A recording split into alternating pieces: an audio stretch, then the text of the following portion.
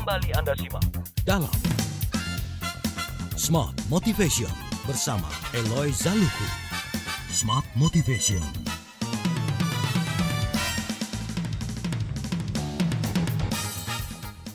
Anda masih bersama kami, Smart Listener, di perbincangan Smart Motivation malam hari ini bersama dengan Pak Eloy, ada Kak Elis Manalu selaku Head of Program TML Practitioner, dan juga narasumber kita, Siti Emers, yang sudah bergabung. Kalau Anda penasaran juga nih berbicara mengenai apa sih yang perlu kita lakukan kemudian. Karena kan kita lagi ngomongin soal yang namanya uh, no do dan juga be gitu ya. Jadi tidak cukup hanya pada batas mengetahui tapi juga bagaimana kita bisa melakukannya. Nah para praktisi yang malam hari ini ngobrol sama kita ini bisa banget kasih insight baru buat kita smart listener. Silakan bergabung lewat WhatsApp kami 0812 11 12 959 jangan lupa cantumkan nama anda lalu juga uh, domisili tadi tadi sudah memperkenalkan diri narasumber kita yang pertama. geser lagi ke narasumber yang berikutnya yang akan memperkenalkan diri malam hari ini. Mohon kesediaan untuk Ibu Yuni ya untuk bisa bergabung ya. uh, men-sharingkan apa yang sudah dialami selama ini. Silakan. Terima kasih Mbak Uli, para CTMer dan smart listener. Izinkan saya perkenalkan secara singkat. Nama saya Yuni Mulwati. Saya lahir di sebuah desa kecil di Jawa Tengah, di Kebumen tepatnya pendidikan saya saat memulai bekerja adalah lulusan sekolah kejuruan setara SMA sebagai analis laboratorium. Dan selama 25 tahun bekerja di bagian sales membawa saya dapat melanjutkan kuliah S1 manajemen dan menjabat posisi sebagai sales manager di sebuah perusahaan multinasional. Nah, sejak tahun 2012 saya sebagai entrepreneur menjalankan bisnis sendiri sebagai distributor alat-alat laboratorium di industri farmasi. Saya batch CTM batch 2 tahun 2019 dan mengapa saya tertarik dengan CTM, Mbak Uli dan kawan-kawan, sahabat smart listener? Karena statement dari definisi sukses yang diberikan oleh pemahaman teosentris ini, uh, di mana sukses menurut pemahaman teosentris ini berbeda dengan sukses yang biasa saya dengar dari seminar-seminar motivasi yang selama ini saya ikuti. Dan hal ini menggelisahkan saya. Kenapa? Karena prinsip teosentris atau spiritual ketuhanan yaitu di marketplace atau bidang sales pada umumnya ini tidak dicampurkan dengan hal duniawi. Seperti kesuksesan terutama dalam penjualan dan bisnis ya. Sales itu selalu kejar-kejar target-target, achieve, achieve, achieve ya. Nah, ternyata sukses menurut Theocentric Motivation and Leadership ini adalah setia melakukan yang terbaik sesuai kesempatan dan potensi yang Tuhan yang Maha Kuasa sudah berikan kepada kita masing-masing. Jadi definisi kesetiaan ini adalah dalam tahap proses, bukan hasil akhir. Okay. Hal ini tentunya membuat saya menjadi mawas diri dan tidak menghalalkan segala cara. Ini yang saya suka Mbak Uli. Jadi wow, indah sekali. Itu yang menarik saya menjadi CTM, Certified Theocentric Motivator. Demikian dan tetap semangat. Wow, Ibu Yuni, semangat banget loh. Semangat banget luar biasa. Terima kasih ya. Ini berarti jadi sel berawal dari sales warrior ya, Pak Ella ya. Wah, terima kasih Ibu Yuni. Kita geser ke Pak Michael, silakan Pak Michael. Oke, okay. good morning, good morning. Semangat pagi Mbak Uli, Pak Eloy, dan smart listeners. Oke, okay. perkenalkan nama lengkap saya Michael Arifandi Susanto. Panggilan saya Michael, saya dilahirkan sebagai anak pertama dari tiga bersaudara 1 April tahun 77 di Yogyakarta. Saya dibesarkan dari di sekolah dari TK sampai SMA itu di Jakarta, lalu dilanjutkan dengan kuliah S1 di Universitas Trisakti jurusan Ekonomi Manajemen. Pengalaman kerja saya di perusahaan retail fashion pertama itu di Ramayana tahun 99 selama satu setengah tahun sebagai budget controller. Lalu sekitar 17 tahun tahun 2002 sampai 2019 bekerja di bidang lembaga pembiayaan non bank atau multi finance dari retail hingga ke corporate dengan posisi sebagai kepala cabang hingga kepala wilayah dan nasional. Perusahaannya adalah BFV Finance, Verena Multi Finance, dan Aditama Finance. Tahun 2019 hingga saat ini saya dipercaya menjadi Head of Central Java Representative di PT Surya Logistik Internasional. Bergerak di bidang distribusi Spring Bed Yukata dan Sterno dan Amenities Hotel. Nah, saya sering mengikuti siaran radio Smart FM ini pagi saat itu pada saat Senin pagi, khususnya siaran Pak Eloy di setiap Senin pagi saat perjalanan saya menuju ke kantor. Dan beliau juga pernah datang ke kantor kami untuk memberikan theocentric motivation. Saya banyak terinspirasi dengan motivasi dari Pak Eloy, yang selalu mengandalkan kekuatan Tuhan di balik semua kekuatan manusia yang akan menghasilkan buah yang terbaik. Mhm. Sehingga alasan terpenting saya dapat mengikuti jejak dari Pak Eloy ini adalah dengan mengikuti sertifikasi CTM atau Certified Theocentric Motivator dan saya akan dapat menyalurkan penggabungan pemahaman spiritual dengan ilmu motivasi dan leadership. Demikian penalaran saya, Mbak Oli. Salam Oke, bahagia. Terima kasih Pak Michael, thank you untuk perkenalannya. Ini perjalanan perjalanan bisnisnya tadi Bu Yuni, perjalanan karirnya Pak Michael. Ini udah keren-keren banget, tapi masih pengen cari sesuatu yang membuat diri makin berkembang. Begitu ya, luar biasa banget. Yes. Keren, keren. Kita geser ke Bu Rere dulu ya. Ya, Silakan, silakan. Terima kasih Mbak Uli, tetap semangat pagi untuk kita semua. Oke.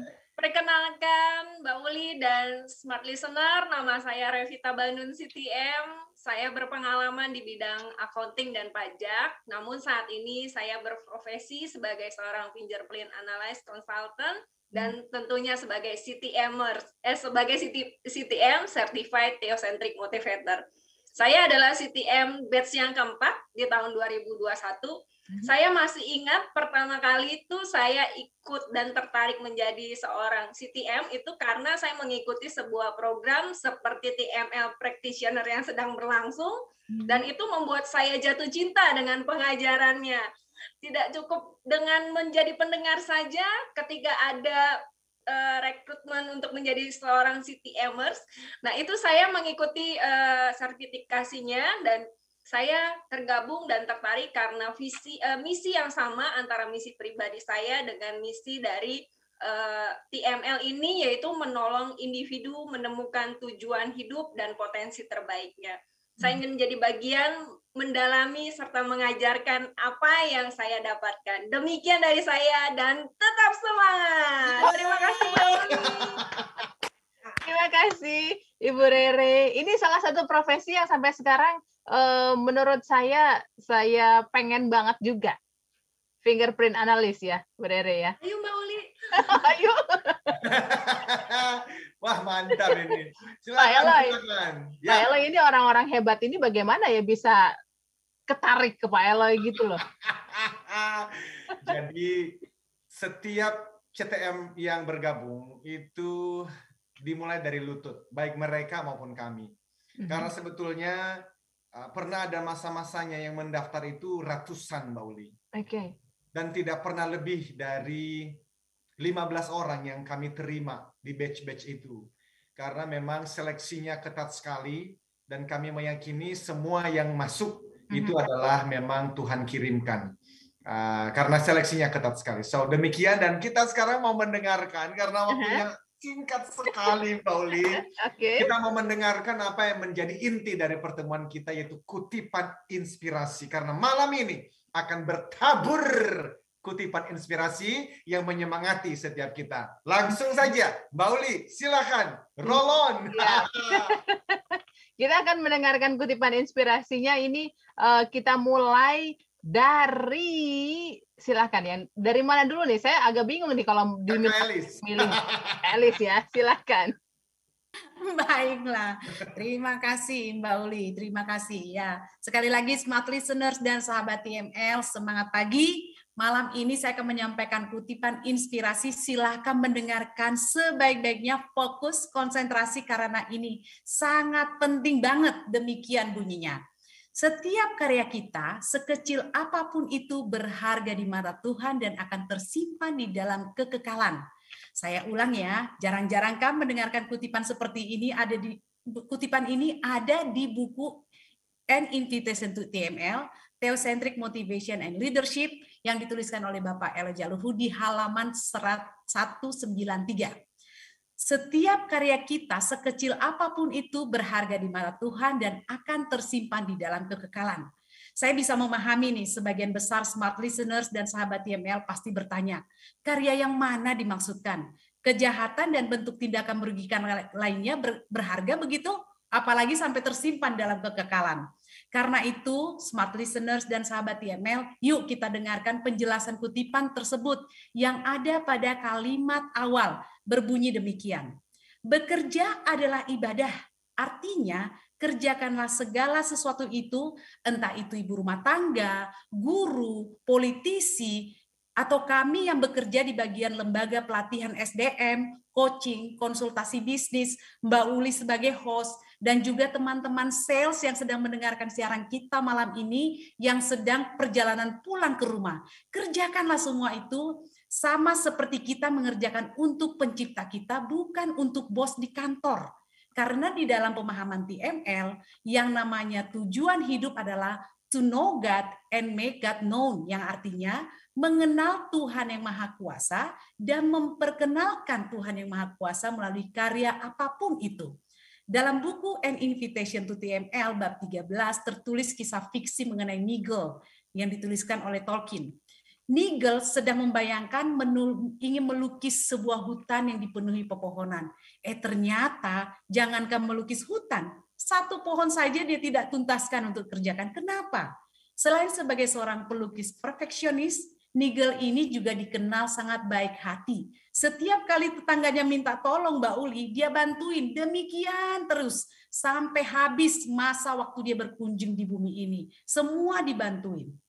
Dan tiba-tiba waktu berkunjungnya sudah habis di bumi. Dan dia kaget sekali. Dan dan setelah dia kaget dan tentu dia memohon-mohon untuk dia boleh menyelesaikan lukisan ini. Tapi itu itulah dia tidak bisa menyelesaikan lagi. Waktunya sudah habis. Nah, sahabat TML dan juga smart listener, jika melakukan segala sesuatu, walaupun satu potongan kecil itu, itu tersimpan dalam kekekalan. Satu menit terakhir ya Mbak Uli, sebelum saya menyelesaikan kutipan saya ini, kalau ditanya mengapa saya memutuskan bergabung di Capstone, sekarang saya bisa berkata bahwa itu adalah bagian dari lukisan yang sedang Tuhan kerjakan untuk Indonesia dan kami berani berkata untuk Asia dan juga dunia. Mhm. Konsep pembelajaran TML ini adalah satu-satunya the only one di dunia saat ini. Demikian Mbak Uli, nanti saya akan ya. lebih dalam lagi kita akan jelaskan seperti apa dan bagaimana sebenarnya uh, konsep ini boleh membuat saya untuk masuk lebih dalam dan lebih dalam lagi. Ya, terima, terima kasih dan Kak Elis. semangat. Semangat pastinya. Nanti kita lanjut ke uh, Bu Yuni ya, tapi kita break dulu. Kita jeda sejenak Smart Listener. Setelah yang berikut kami akan kembali di perbincangan Smart Motivation malam hari ini.